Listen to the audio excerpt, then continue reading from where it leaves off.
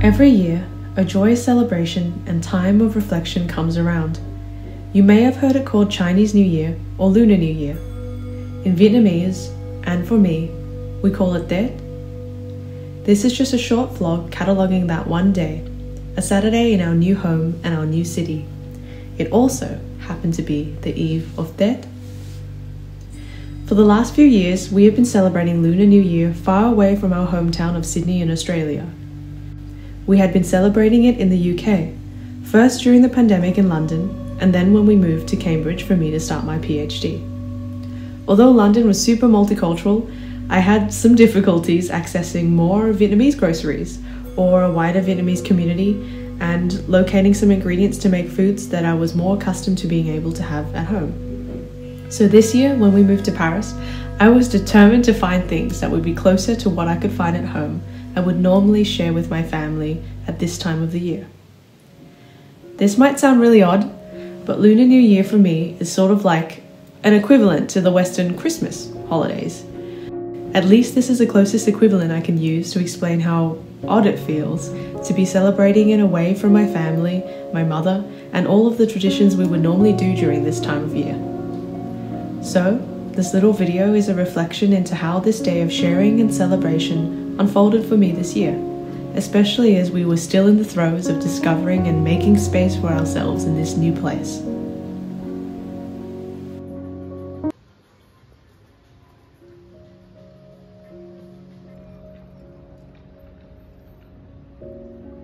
First thing in the morning, I wanted to visit a Asian grocery store, and it's one I'd never gone to before, and funnily enough, it happens just to be called Paris Store. We'd gone to visit a few others, such as the awesome Tang Frères stores, which are mainly located in the 13th arrondissement, where there's a huge Asian and Vietnamese community. Uh, the 13th, however, is a little bit far away from us, uh, and as you'll soon see, this day was actually crazily packed with other things we had to do. Um, so back to Paris Store. Paris Store is located in Belleville, and oh my god, I nearly cried in the grocery store. there were so many Vietnamese things, and even things that are really difficult for me and my family back in Australia to be able to get a hold of outside of Vietnam.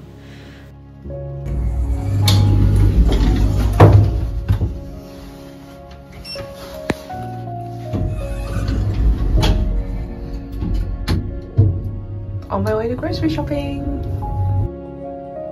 Food is such an important thing for me and one of the strongest connections I have to my heritage and my culture. It turns out that being away from it or being in a place where it isn't easy to access or another obstacle being like whether or not it's actually affordable to access those kinds of ingredients for years has had an impact on me that I'm only just beginning to understand. One of my goals for this year is to learn how to make more traditional Vietnamese recipes and foods uh, so I'll be sharing that struggle. I'm sure there'll be some struggles along the way and experiments on that journey with you. Um, part of that journey is going to be how I find a way to make a lot of these recipes vegetarian because Daniel and I are both uh, vegetarians, so we'll see how that goes.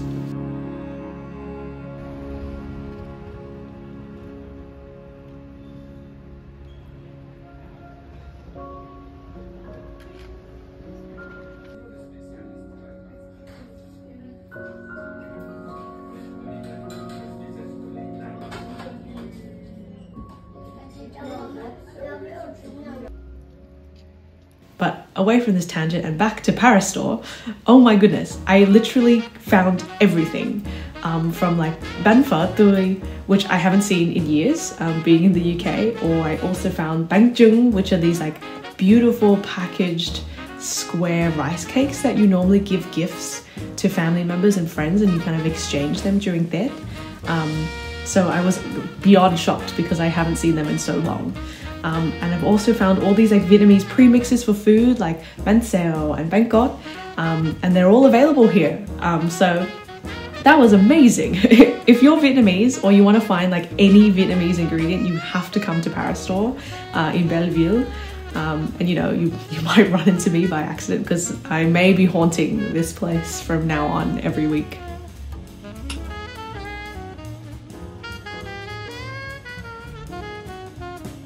So, uh, before we get into this like grocery haul, I just wanted to say a quick apologies for like the video quality and audio quality suddenly going down. Um, Daniel was just about to teach his cello students, so I really wanted to be quick and quiet before they came in and had their lessons in our place.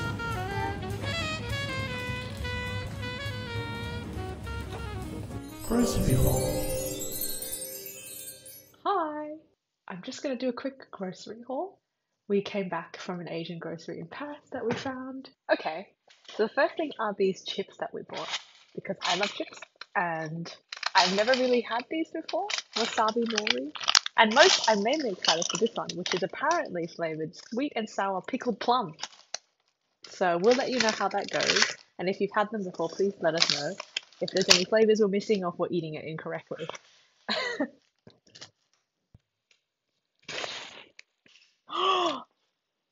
this thing.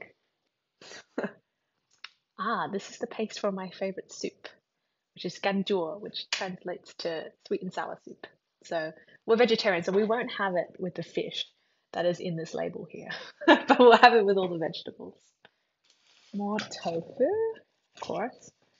And because it's Chinese New Year, we bought this paper that we're going to burn later tonight uh, to welcome in the new year and bring in some good luck and some happy offerings to the people up there, around there. Okay, there's a lot of rustling. Ah, my favorite vermicelli noodles, all the way from Vietnam. It's my favorite because there's a woman carrying like wheat there, and it's pink and it looks like feathers. Let's see. Oh, and of course, kind of Asian household would we be without heaps of like little ramen things? So this is my favorite. Uh, but we thought we'd try this. I'm not a big fan of black bean, and it claims to be smoky black bean, but Daniel loves it, so we're excited to try it. Is that it? Oh no, that's not it. This is the best part. Okay. Oh, the best part of this shopping trip these noodles, which are essentially like fresh pho noodles. Um, and they come like packed in this huge thing in France, and it's enough for three meals for us. It's pretty good. Mm-hmm. Grocery. After Daniel taught his cello students, we quickly had a bit of a late lunch and then moved on to a few more things we had to get on with during the day, um, but they were all amazing, exciting things because they involved our beautiful friends and fellow artists here in Paris. At 3 pm, uh, my dear friend May Meng, who is an artist, a curator, a filmmaker, and a photographer, had a small um, art exhibition opening up. Um, she was presenting new experiments with photography that she'd worked on across the pandemic, um, and they were shown alongside painted works by a local architect, Anna Duelo, who is a close friend of hers. We didn't film very much because it happened to be in this really small, cute venue, which was also actually a restaurant. So the restaurant owners had agreed to show their work during the day and they would uh, take everything down um, to make space for this kind of pseudo exhibition space where people could walk around and look at the space as if it were a gallery. And then the works kind of stay up on the wall so that um, it becomes a part of the restaurant decor for the next couple of weeks and you can purchase the works. So we learned that literally there's art everywhere in this city and any space can be a place to see new works and meet new people. Um, it was such a cute spot and if you're in Paris, and you want to see like any art openings or any little galleries, you can actually head into all these smaller venues that show work and everyone inside will welcome you. If you want to see more of May's and Anna's work, um, please check out their works in the description links below. I'll pop them there. Uh, and also, please head to this restaurant because it's also adorable and the food smelled amazing because they were prepping it while the exhibition was going on.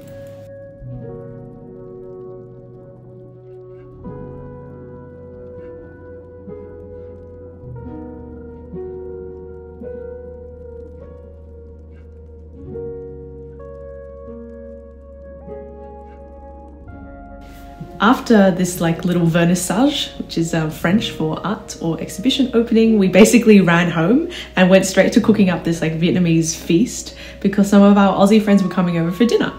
Um, I didn't really film most of it because it's kind of if you've ever made summer rolls, and I'll make a video in the future kind of showing you how to prep for that. Um, it can be a little bit messy, so I totally forgot to film. Um, but here's like a quick scan of the vibe um, of how it all looked put together with some cute candles. Um, and then after dinner, um, as if there weren't enough things to do in this afternoon, we pretty, we headed out uh, as a whole group for something super cool and exciting. Um, so one of our friends, Toby Graham, who is this really cool singer, songwriter, and musician, happened to be launching his new album uh, that night, and his album's called DNA Kisses. And we were heading out to go and dance and celebrate with him at this amazing venue called Alimentation Générale. Um, again, I'll pop the details down below if you're a musician in Paris who is looking for a venue. Um, it's a really cool place. Um, there's a bar downstairs and really cool lighting. And yeah, we were just going to see Toby launch this brand new album of really amazing music.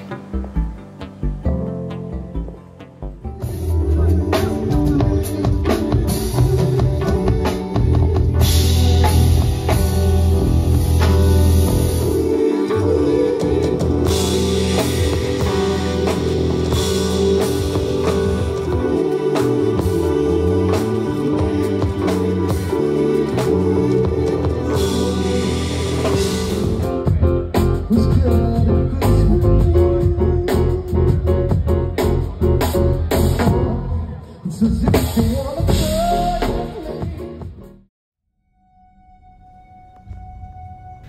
the night had rolled past, and by the time we all departed after Toby's epic album launch, um, it was already 11:30 p.m.